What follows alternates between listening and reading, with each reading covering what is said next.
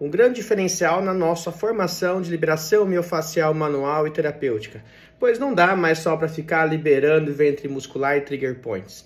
Também é muito importante. Mas ter o diagnóstico diferencial para descobrir se a disfunção está no tendão ou se está no ventre muscular, nas suas fibras, se está na fusão músculo-tendínea ou na inserção tendínea, vai fazer o grande diferencial.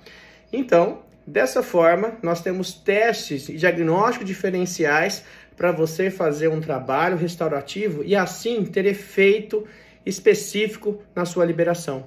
Ou seja, por que esses efeitos e o que faz a diferença? Porque se você tiver um desequilíbrio miofacial na porção tendínea, vai ter adaptação muscular e vice-versa. E assim você vai ficando tendo recidiva. Fazer teste de contração concêntrica, excêntrica, resistências e palpações específicas vai levar você a ter precisão desse diagnóstico diferencial e ter um resultado único.